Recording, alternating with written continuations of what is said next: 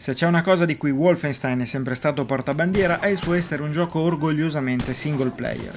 Per anni non c'è stato nulla di più esaltante che schierarsi con il proprio fucile contro l'armata nazista e da quando nel 2014 Machine Games ha reinventato la serie con uno splendido reboot, le cose sono andate anche meglio, riportando sui nostri sistemi di gioco un FPS che, orrore, non aveva nemmeno la componente multigiocatore. Oggi però, dopo averci proposto un ottimo sequel, il mondo distopico di Wolfenstein fa un salto in avanti di 20 anni e ci offre un'esperienza diversa dal solito in cui la componente cooperativa svolge un ruolo predominante. Ambientato vent'anni dopo gli eventi vissuti in The New Colossus, Wolfenstein Youngblood ci porta nella fattoria dei Blazkowicz dove BJ e Anya stanno vivendo insieme alle loro due figlie Sofia e Jessica. Poco dopo apprenderemo che il nostro ammazza nazisti è scomparso. Una pista e un po' di avventatezza porterà le due giovani a Neo Parigi facendoci capire che se l'America è stata liberata, lo stesso non è successo in Europa. A bordo di un dirigibile su cui dovremo far fuori un importante bersaglio, scopriremo che molto di quello che conoscevamo in Wolfenstein è cambiato, nonostante il gameplay frenetico ed esagerato sia rimasto quello genuino di un tempo.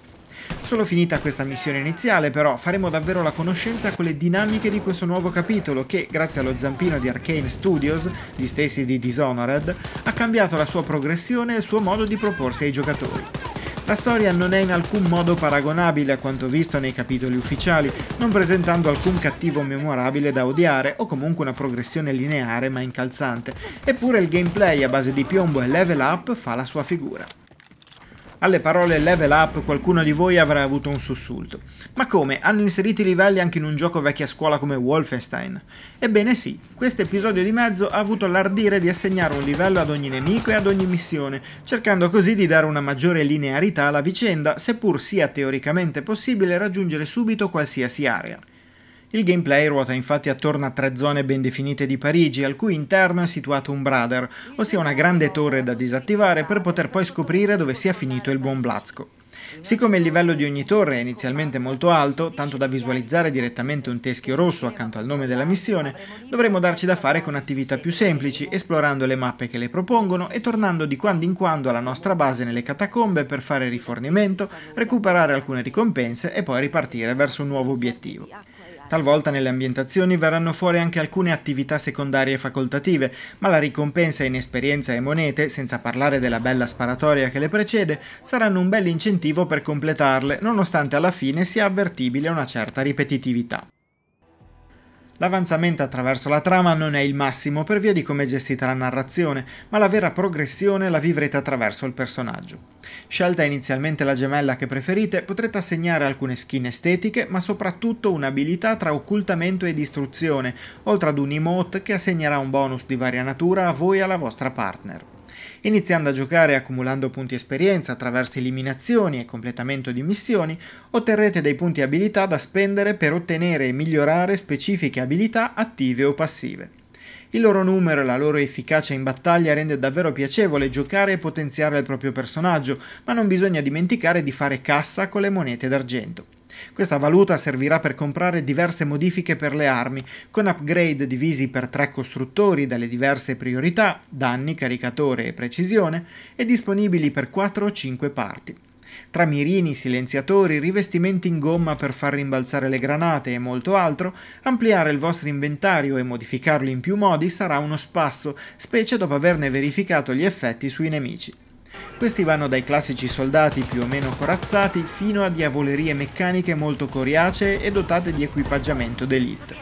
Per affrontarli, oltre a dover stare attenti ad un'intelligenza artificiale non fenomenale ma comunque in linea con i precedenti Wolfenstein, dovrete anche prestare attenzione alle icone che caratterizzano la loro armatura tra due tipi.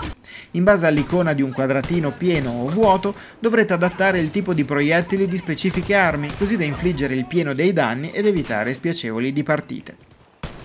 Se la vostra energia dovesse esaurirsi, potrete fare affidamento sulla vostra gemella, personaggio che potrà essere guidato da un secondo giocatore attraverso un ottimo sistema di drop-in e drop-out, ma che potrà anche essere lasciato nelle mani della CPU.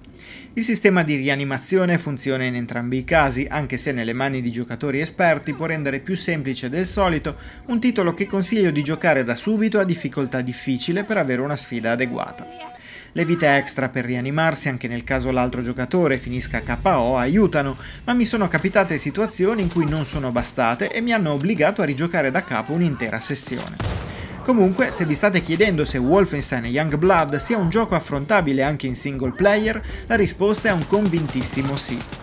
In 2 è sicuramente più divertente la possibilità di usare un buddy pass della versione deluxe per invitare a giocare qualcuno che ha scaricato la versione gratuita del gioco è un'ottima trovata, ma anche appoggiandosi ad una gemella virtuale permette di godersi appieno il gioco senza evidenti sacrifici. In quanto spin-off venduto a prezzo budget, cosa da non sottovalutare, molti elementi grafici e sonori dei precedenti capitoli tornano anche in questa nuova uscita, con modelli poligonali comunque ottimi e responsivi al martellamento dei colpi che gli sparerete contro. L'ambientazione anni 80 non si sente granché se non per le musiche elettroniche e per alcuni neon violacei, portandoci in una Parigi spesso molto fredda, seppur notevolissima da ammirare per design. In questo campo e più nello specifico nel level design va menzionata una maggiore verticalità delle mappe, complice la presenza di Arcane Studios che ha anche inserito un numero maggiore di passaggi secondari che utilizzano salti e doppi salti. La qualità generale è simile a quello che abbiamo ammirato in The New Colossus, con l'unica differenza sostanziale che riguarda mappe meno ampie, ma in cui vi troverete a muovervi più spesso per completare le varie missioni assegnate o per adempiere agli incarichi giornalieri e settimanali che vi forniranno esperienze e monete anche dopo aver completato il gioco. Peccato manchi lo split screen, ma con questa grafica e questa atmosfera era difficile preservare questo tipo di modalità senza rendere ingiocabile o comunque poco fluido un titolo che corre a 60 frame per secondo. Il sonoro è sempre di spicco grazie a canzoni anni 80 cantate in tedesco e con effetti speciali che ricalcano quanto di buono sentito in passato. Valido anche il doppiaggio e in linea con i precedenti capitoli anche per quanto riguarda i doppiatori che tornano per diversi personaggi. Divertenti e spassose poi le due gemelle, tanto brutali in alcune situazioni quanto buffe e genuinamente giovani in altre.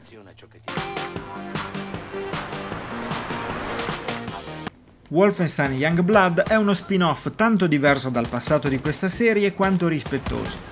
Prendendo elementi moderni come il level up e alcune meccaniche caratteristiche di titoli come Destiny e The Division, riesce a piazzarli in un gameplay ancorato al passato, senza il bisogno di avere mondi popolati da altri giocatori e in cui si può anche giocare da soli con l'aiuto della CPU. La cooperativa tanto sbandierata è quindi una possibilità concreta tra giocatori, ma non rovina l'esperienza a chi desiderava un Wolfenstein single player più classico. La trama non è interessante come i capitoli ufficiali, ma il miglioramento del proprio personaggio e del suo arsenale saprà farvi compagnia senza far pesare questa mancanza. E comunque il gameplay frenetico e viscerale che ha fatto la fortuna di questa rinnovata serie è ancora al proprio posto, offrendoci il meglio degli FPS single player o, come in questo caso, anche cooperativi.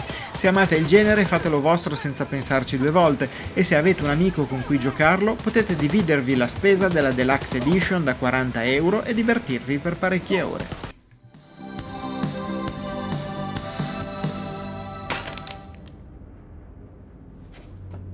Keine Bewegung!